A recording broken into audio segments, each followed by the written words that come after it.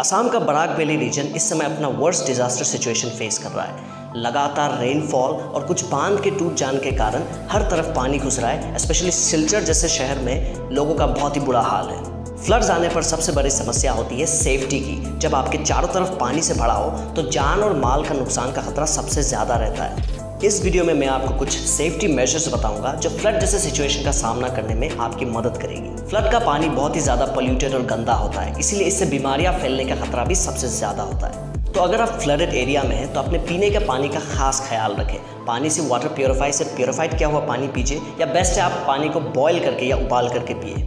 Flood के पानी में ज़्यादा देर रहना, तैरना या फ्लड के पानी से नहाने को बिल्कुल अवॉइड करें, क्योंकि इससे आपको बाद में बहुत बड़ी इन्फेक्शन हो सकती है।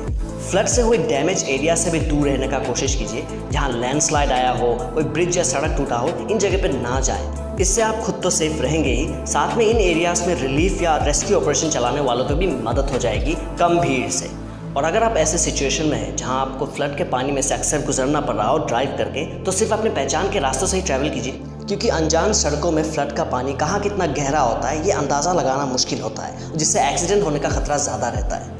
अपने आसपास के लोग, अपने नेबर्स से हमेशा कनेक्टेड रहे, उनका हमेशा हाल चाल और खबर लेते रहे। इससे हिम्मत बनी रहती है ऐसे टफ सिचुएशन में और काफ़ी मदद भी मिल जाती है एक दूसरे से। अबव ऑल उम्मीद बिल्कुल भी ना छोड़े। इस भयानक सिचुएशन में हम जिस तरह से फंसे हैं, हम इससे निकलेंगे भी ज़रूर। ज़रूरत है हमें साथ रहने की और एक दूसरे की मदद करते रहने की।